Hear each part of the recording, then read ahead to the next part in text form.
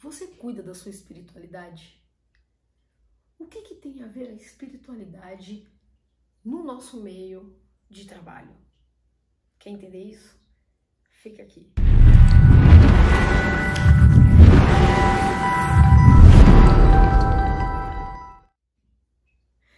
Meu nome é Patrícia Dias, eu trabalho na área da inteligência emocional e hoje eu quero te convidar a refletir comigo sobre a espiritualidade no meio de tudo isso que a gente vive, mas também no meio do nosso trabalho. Eu falo sempre, e é uma pergunta minha cotidiana em treinamento, em palestras, como as pessoas cuidam da sua espiritualidade. E o mais engraçado é que eu faço palestras para executivos, presidentes, líderes no modo geral. E as pessoas onde elas estão voltadas aos resultados, elas olham muito pra minha cara e falam assim, cara, que espiritualidade, eu preciso vender, que espiritualidade, preciso trazer resultado, meu chefe não tá preocupado com espiritualidade. Entende o ponto? E agora estamos vivendo em um caos, um momento em que você se obriga a ficar confinado literalmente para não morrer, para não pegar um vírus que pode te matar. A preocupação e o medo, o desespero, o pânico que ronda as nossas vidas, talvez até aqueles que nunca rezaram passaram a rezar, aqueles que dizem que não tem tempo de meditar passaram a ter, aqueles que dizem que não tem saco para meditação, como eu ouço muito falar, é agora, deixa eu tentar. Não importa o veículo que fez com que você chegasse a esse viés de rezar, de meditar. O importante é você entender por que você está fazendo, para quem você está fazendo, qual é a importância disso tudo na sua vida. Vezes frequentamos igrejas, templos e etc e tal, seja lá o que for. E aí a gente geralmente faz isso uma vez na semana. Para quem é católico, vai lá na missa no domingo. Só que durante a semana é aquela coisa das empresas, um passa por cima do outro, um prejudica o outro, você está sempre estressado, sempre exaurido, confinamento de dívida uma atrás da outra, se acabando de fazer as coisas, gastando dinheiro, enfim, aquela vida totalmente acelerada. E é por isso que quando eu pergunto, você cuida da sua espiritualidade no meio de um treinamento, você tem que ver a cara das pessoas. Só que vamos pensar, o que é espiritualidade nas nossas vidas? Para mim, Patrícia, eu acho uma base. É a base, é a minha espiritualidade. Hoje eu vou fazer um vídeo especial e vou ler uma mensagem de um dos mentores. São intuições que eu recebo após a meditação. E eu acho que é muito providencial entre tantas mensagens que, que eu recebo, entre tantas intuições que vêm, porque eu costumo dizer que eu não faço nada sozinha, sempre estamos acompanhados da espiritualidade. A espiritualidade está o tempo todo, em todos os momentos.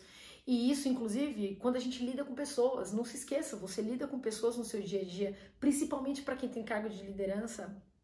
A importância que nós temos ao falar com as pessoas no modo geral. Muitas vezes a gente se cuida com a espiritualidade, de estar tá lá rezando, meditando, fazendo a sua parte uma vez por semana, naquele núcleo, naquele templo. Cara, mas virou as costas a pessoa já está surtando, não é capaz de no dia seguinte falar um bom dia para um porteiro, acha que uma empregada doméstica é obrigada a ter que limpar as suas sujeiras e você não está nem aí para fazer a sua mínima parte.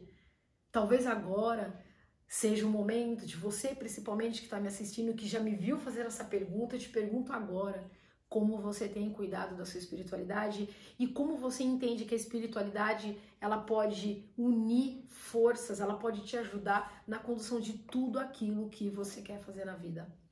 Eu vou ler a frase, é, é curta, mas de um conteúdo fantástico, então por favor, preste atenção e vê se pode trazer uma reflexão a você.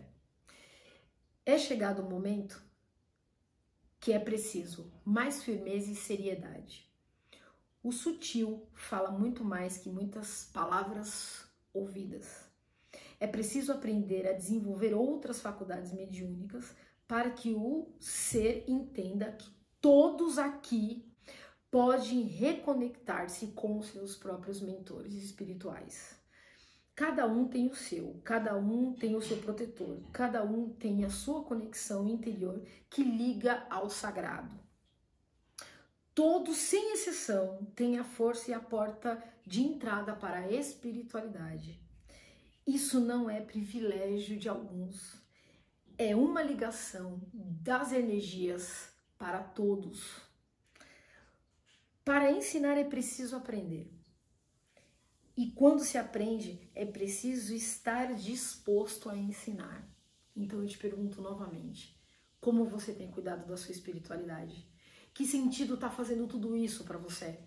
Muitas pessoas estão reclamando porque estão confinados, mas por que, que estão reclamando e estão confinados? Porque passaram anos das suas vidas buscando lá fora, indo lá fora. Talvez nem fique nas suas casas, talvez não convivam com as pessoas que estão ao seu lado e nem muito menos se interiorizam. Então, perceba a importância desse momento agora de reconexão, da cura interior porque muitos já estão colapsando e até talvez desencadeando do pânico, do medo, sentimentos ruins, negativos, que você passa o dia dentro da própria casa exaurido, talvez até não aguentando nem os filhos, nem o marido, suas esposas, não aguentando mais nada, pensando somente na dívida e o que vai fazer com tudo isso depois, pensando que depois não vai existir mais emprego pensando que não vai pagar suas contas, pensando que não vão ter seus contratos assinados, mas eu te pergunto novamente, como você tem cuidado da sua espiritualidade, como é você com você mesmo, que importância você consiga agora enxergar que a espiritualidade tem em tudo isso. No dia a dia nós lidamos com pessoas, é preciso aprender a respeitar, é preciso aprender a olhar o outro como um ser em evolução. Muitas vezes a gente quer engolir, quer matar as pessoas, julgando o tempo todo. Passamos o dia inteiro nos trabalhos falando do outro, metendo o pau no chefe, o chefe falando do liderado. Nada diferente do que você vê com a política hoje. Líderes e liderados, ao invés de se unirem em prol de um mundo comum, de um país comum, estão se degladiando por ego, por vaidade. Entende isso? É claro para você? Isso te faz sentido?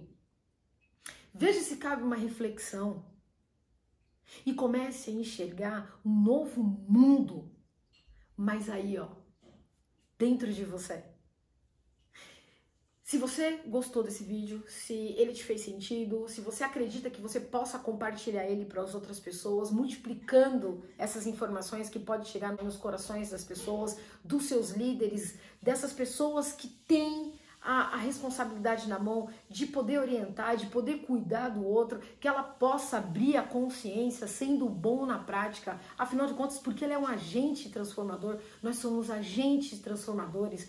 E não se esqueça, pegando essa palavra desse mentor maravilhoso, dessa palavra fantástica, que traduzindo quer dizer assim: todos nós temos uma porta aberta para a espiritualidade, todos nós temos um Deus, o nosso mentor interno que possa nos intuir, nos conduzir, nos ajudar. Então, que você entenda que por mais que você possa dar resultado, que a empresa esteja te cobrando resultado, nada, nada está acima da espiritualidade. Absolutamente nada.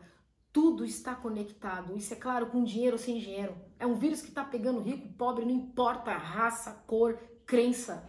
Isso está claro? Veja se cabe uma reflexão e um fortíssimo abraço.